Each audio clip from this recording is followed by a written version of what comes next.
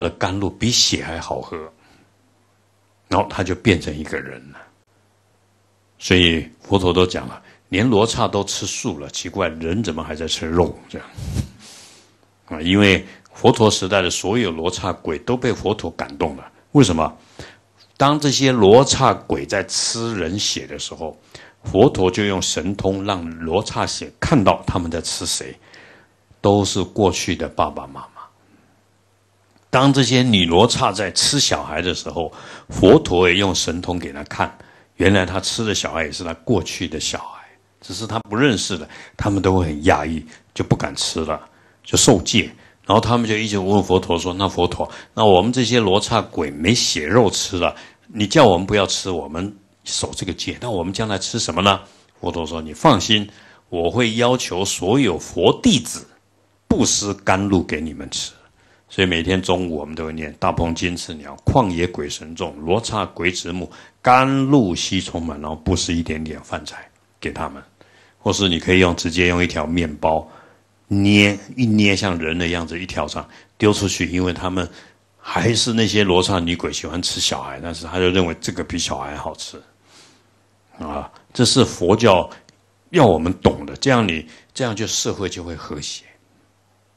如果各位你会经常这样做啊，你会发觉你奇怪，最近生意很好，事情很顺，为什么这些无量无边可怜的鬼道接受你的布施，愿意升天也好，还是继续做鬼也好，很有福报，还是去极乐世界，他永远在感恩你，因为他们有他心痛。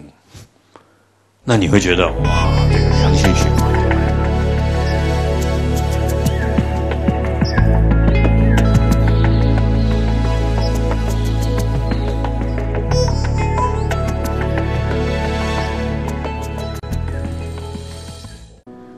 持生命电视台就是护持佛法，就近帮助众生离苦得乐。所以，生命电视台有责任将佛陀的正法不分宗派传播在这个世间。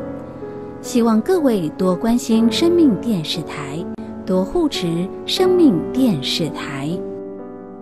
护持账号：一九九六五二三二。一九九六五二三二，户名生命文化基金会。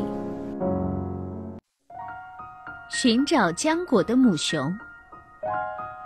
有一头母熊生了一头小熊，小熊生下来之后，要在四个星期之后才能睁开双眼。可是这个小家伙生下来已有八个星期了，依旧还没睁开双眼。宝贝，睁开眼睛看看我吧！快啊，快睁开眼吧！这究竟是怎么回事啊？他生下来八周了，怎么还不睁眼啊？我看这个孩子好像是生病了。没错，以前也有孩子是这样的，不过后来吃了一种浆果才好了起来。没错，的确有这件事情。真的吗？太好了！那是一种什么样的浆果啊？究竟是哪种，我也不清楚。我只听说那是一种红红的、圆圆的浆果。没错，就是那种红红圆圆的浆果。我听说的也是这种浆果。宝贝，太好了，你马上就能睁开眼睛看到妈妈了。妈妈明天就到森林里寻找那种红红圆圆的浆果。第二天，这头母熊。便离开了自己的洞穴，来到森林里寻找那种红红的、圆圆的浆果。这里有松果、栗子、橡果，怎么就没有那种红红的、圆圆的浆果啊？那种浆果究竟在哪里呀？熊妈妈，你这是在寻找浆果吗？是啊，我一定要找到那种浆果来治好我的孩子。可是这周围怎么没那种浆果啊？当然啦，这一片地区我非常熟悉，我从来没在这里看到过那种果子。我想你应该朝森林边缘找找看。好吧，那我就到那里找找看。但是你到那里一定要小心啊！要知道，人类可是经常在那里出现。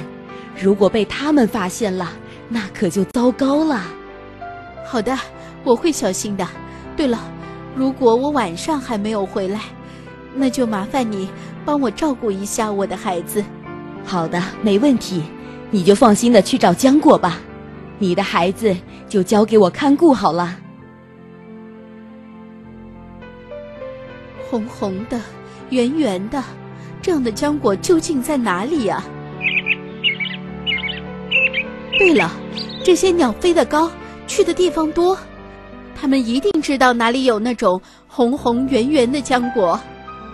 小鸟啊，你们知道哪里有浆果吗？在森林边缘有好多浆果呢。没错，刚才我们就在那里吃了一些，有几种浆果的味道。真是好极了，是吗？那里有那种红红的、圆圆的浆果吗？哦，红红的、圆圆的，你说的这种浆果我还真没注意呢，应该是有吧？那里浆果的种类太多了，你自己去找找看吧。好的，谢谢你们了，我现在就去森林边缘那里去找。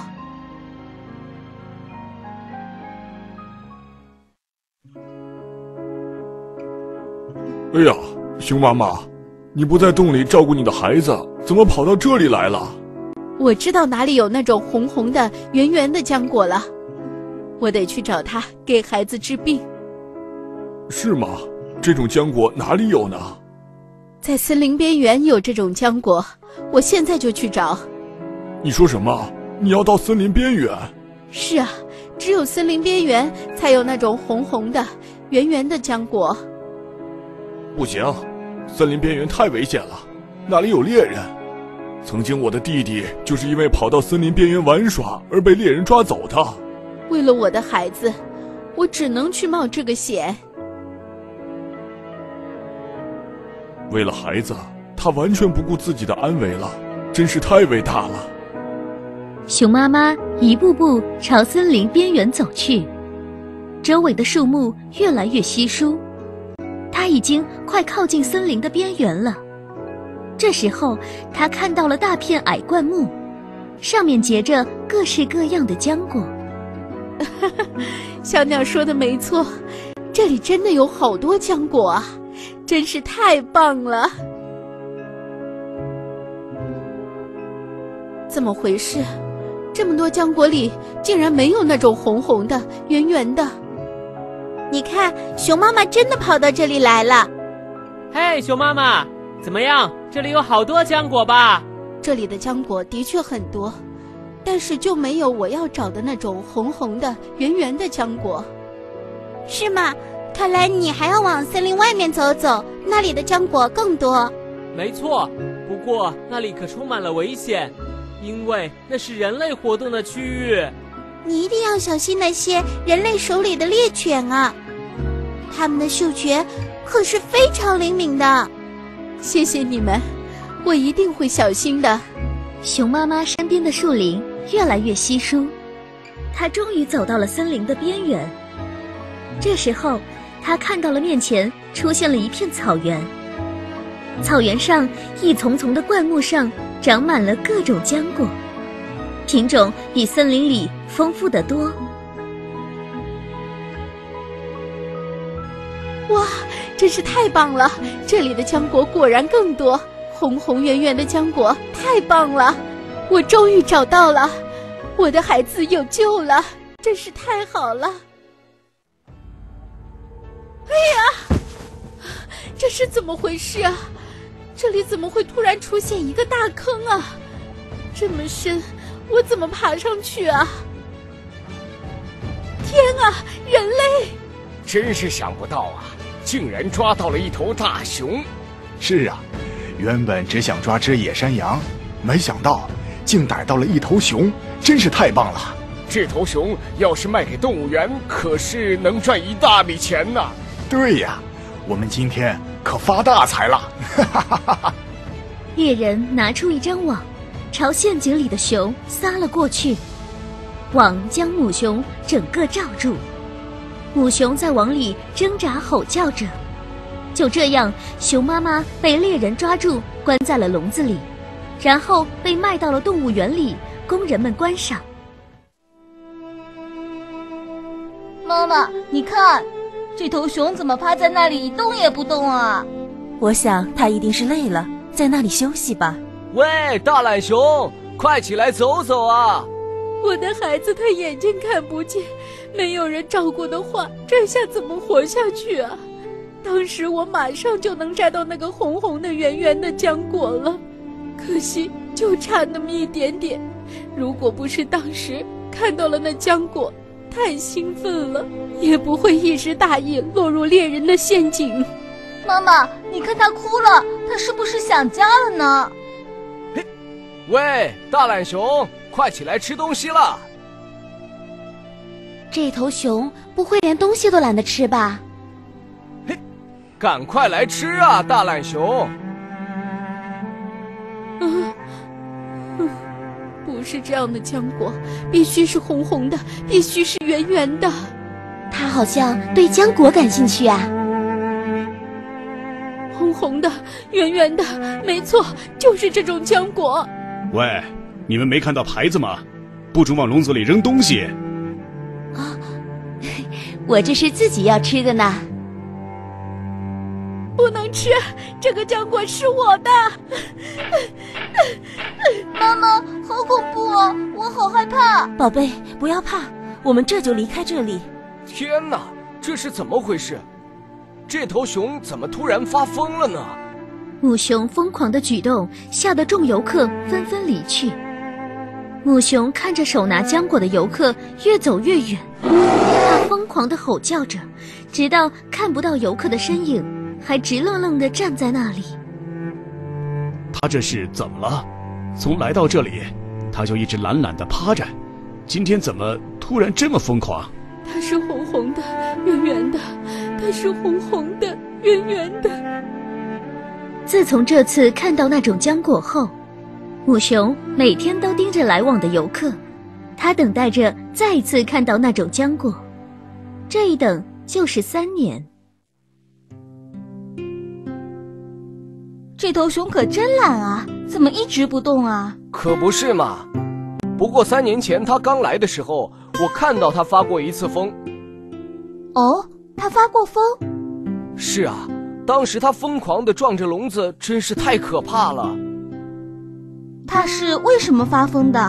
唉，谁知道呢？当时我丢给了它几个浆果，他看到后竟然有了反应，好像他对浆果很感兴趣。后来有一个游客拿出了一个红浆果，这头熊看到红浆果就特别有感觉，接着不久就发疯起来了。哦，我这就有几个红浆果，丢给他看看，看他有什么反应。游客说着，便将那个浆果丢进了笼子里。那浆果滚到了母熊的身旁，母熊微微睁开眼睛看了一下。当它看到了这个红浆果后，立刻兴奋地跳了起来，然后围着那个浆果大吼大叫。天哪！果然是因为浆果，红浆果能让它发疯，这头熊又疯了。我们快离开这里！浆果，浆果是红红的，是圆圆的。怎么搞的？他怎么又发起疯来了？我得把这个浆果送给我的宝贝吃，他吃了浆果，病就好了。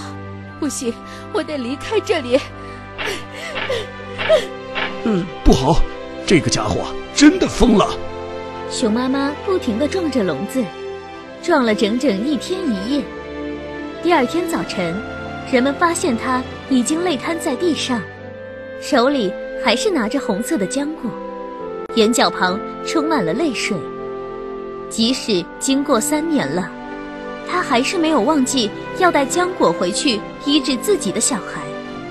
母爱的伟大，真是令人动容的。